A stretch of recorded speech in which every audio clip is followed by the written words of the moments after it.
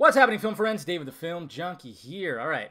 For those that, I mean, there's a couple that have uh, thrown some shade at me on Twitter, saying that I don't know what I'm talking about when it comes to uh, when it comes to Thor and the tone change from the previous movies or the previous just all the movies to uh, what we got in Thor Ragnarok. Everybody's saying like, no, it's very accurate to the Jack Kirby to the Jack Kirby Thor. Which yes, the visuals, I get that the visuals, but I don't know why they. I guess they thought the Thor Ragnarok story was a comedy back then? I don't think so. No, I mean to me, I mean I'm not, and I can't say that I'm a huge Thor fan, but to me it seems like I I thought Thor: The Dark World because it took place mainly in the realms out there in the cosmos, not on Earth so much. I thought that was more Thory than the other two movies. But uh, you know, we all have it's whatever. I'm probably gonna get some more trolling tweets again, but there is a tone change, and who do we have to blame for that tone change? And like I said, it's not even a bad thing.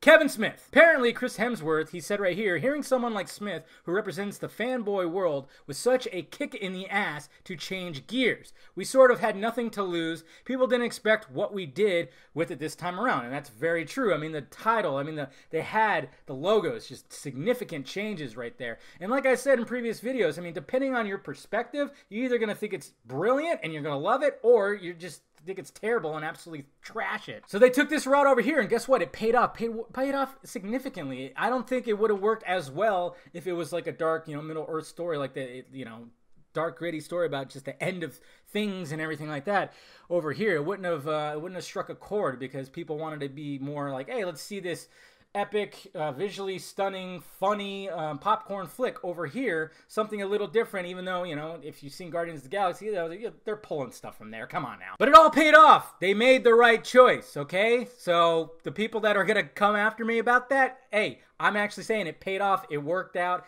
I, I, liked it. I enjoyed it very much. I actually can't wait to see it again. It's going to be one of those movies that I will watch over and over again. I think it was probably better than the other two Marvel movies that came out this year.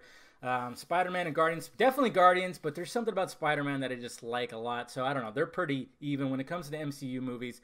How does it favor to Wonder Woman? Eh, I, don't like it as much as Wonder Woman. I, I can't say that. You feel you decent fat boy. That's fine. Call me that. I don't care. But uh, yeah. So there you go, right there. Turns out Kevin Smith had a lot to do with it, and you know Kevin Smith knows. Kevin Smith has a pretty brilliant mind when it comes to stuff like this. Not all the time. He's had I've listened to some of his stuff and I'm like, no, no, you can't do that, Kev. Come on. But right here he was spot on and apparently he was the inspiration to change that tone and they got the right director for it. And it and like I said, it all worked out. I enjoyed it. A lot of people enjoyed it. Some people didn't, that's fine. Nobody was like going crazy and just epically sh- just trashing on it. I'm sure there's some people out there, but people in my little, you know, you guys and stuff like that were okay. You know, you had your gripes. You're not going to see it again. Fine. That's whatever. It wasn't for you.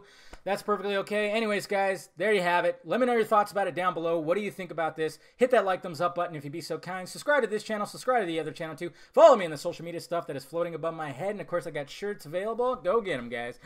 I'll talk to you later.